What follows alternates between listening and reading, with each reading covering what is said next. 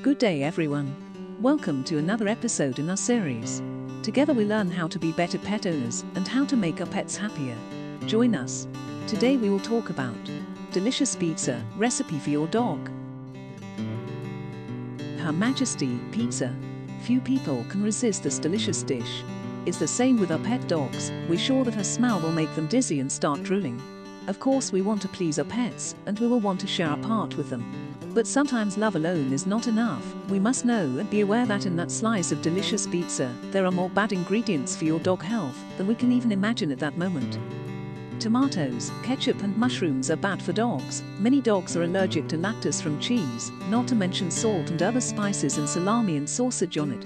That's why we made today's video, in order to help you preserve the health of your dear dog and to pamper him as much as possible with great attention and love, because we are sure that they deserve it. What will you need for homemade dog pizza? Ingredients. For crust, 2 cups oat flour, 1 egg, 1 tablespoon melted coconut oil, 1 4th to 1 half cup chicken stock. For sauce, 1 large sweet potato chopped and boiled, 1 4th cup chicken stock.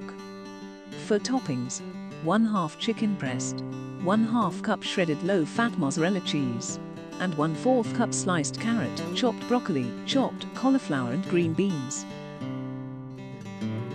Instructions. Preheat the oven to 350 degrees. And subscribe to our channel in the meantime if you haven't already. Mix together all crust ingredients, roll it out on parchment paper and bake for 12 minutes. For sauce boil the sweet potato about 20 minutes until it's soft, mash with a fork with small amount of chicken stock until you get consistency of a thick sauce and spread the sauce on the cooked crust. For toppings, boil the chicken breast in water until done. Scatter the cheese, vegetables and chicken on top of the sauce. Bake for 12 to 15 minutes. Cool the pizza to room temperature. Cut it and offer it to your dog, and we are sure that he will be the happiest dog in the world in that moment, and that you will feel satisfied because you know that you have done something nice and healthy for your beloved pooch. Store leftover pizza in an airtight container or wrap it with plastic wrap or aluminum foil. It will last up to four days in the refrigerator. Do not use garlic, onion, or tomato, or cheese if your dog is allergic to lactose. Also, dogs shouldn't eat too many carbs. We suggest only giving moderate amounts. And finally, of course you can share this meal with your dog, because everything in this pizza is safe for human consumption.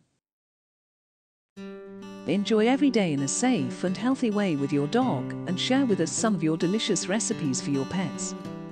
At the end of this video you have a whole playlist with treats for your dog and you can find the whole recipe in the description of the video.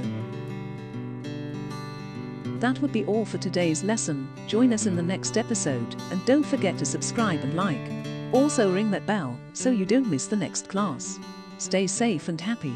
And don't forget, love and respect all your pets and enjoy the time you are given to spend together.